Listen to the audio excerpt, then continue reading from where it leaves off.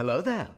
What's up guys, unofficial LEGO here, hope you're all doing well, and in this video we have our first official look at the Marvel CMF Series. 2 blind bags, except there aren't going to be blind bags for this series, instead they're going to be in the cardboard boxes. Of course, seeing that transition from the plastic use to the cardboard use for LEGO, they're trying to minimize their use on plastic, or plastic waste anyway, I mean LEGOs are made out of plastic. Anyway, as usual for each CMF series, or blind collection. Uh, I can't really call blind bags anymore. It feels kind of weird. These retail for $4.99 here in the United States. We have 12 of them to collect in total, releasing on September 1st of this year. As you guys can see, the many different uh, characters that and, and minifigures here that we have to collect here uh, on the screen now. Going through all of them, we have Mr. Knight, Moon Knight, we have Wolverine, Storm, Beast, uh, Kate Bishop, Hawkeye, Agatha the Harkness from WandaVision, uh, the Werewolf, Werewolf by Night on that Disney Plus special,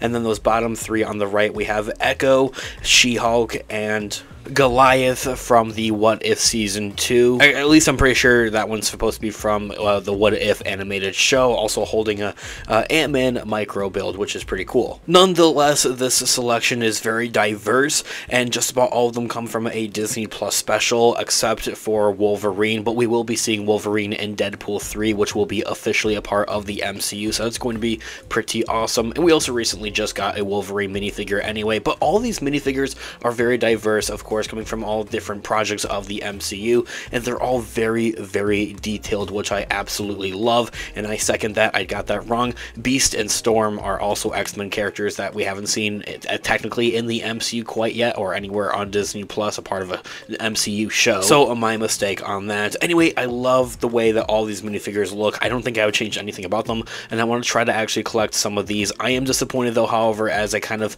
mentioned towards the beginning of this video, of that there aren't going to be actual actual like blind bags that you're able to feel out. That's how they've always done the CMF series, the blind bags collectible minifigures.